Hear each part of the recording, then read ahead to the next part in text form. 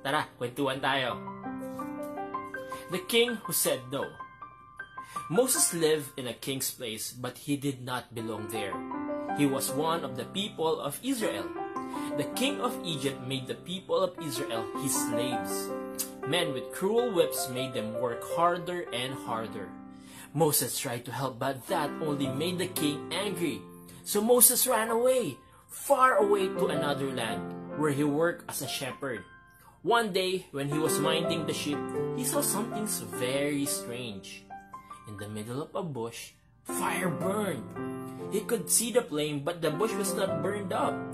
Moses went closer. Then he heard a voice calling his name, Moses. Moses. God was speaking to him. I have a special job for you. I know all about the cruel king of Egypt and the horrible things he does. The people of Israel are my people. Go and tell the king he must let my people go. But Moses did not want to. I can't do that, he said. The king of Egypt is very angry with me. You can do it if I help you, God said. Tell my people what I have said. Tell them it's time they had a land of their own. If you are afraid, take Aaron with you. Moses and Aaron went to see the king. God says, Let my people go. God? Who is God? I don't know your God, said the king. And he made the Israelites work harder than ever. So God sent Moses to warn the king. Let my people go or I will send a terrible disaster. You will have no clean water to drink.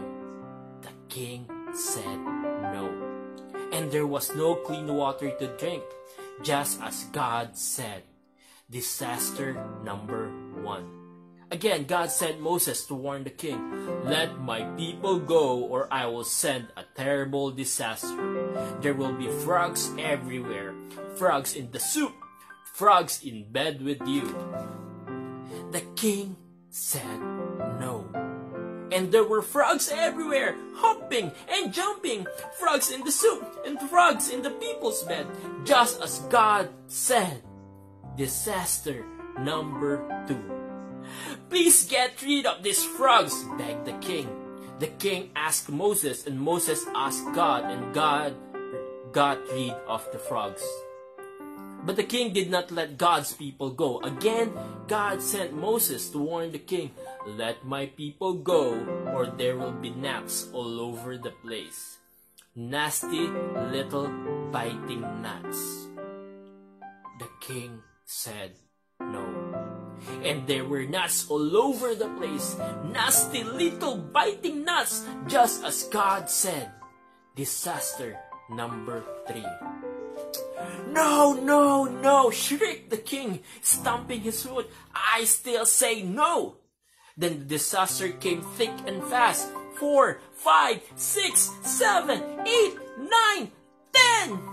Yes, yes, yes, groaned the king at last. Tell God I will let his people go and good riddance. If only he had said yes before. The people of Israel got ready to go. They were leaving Egypt forever. They would never be slaves again.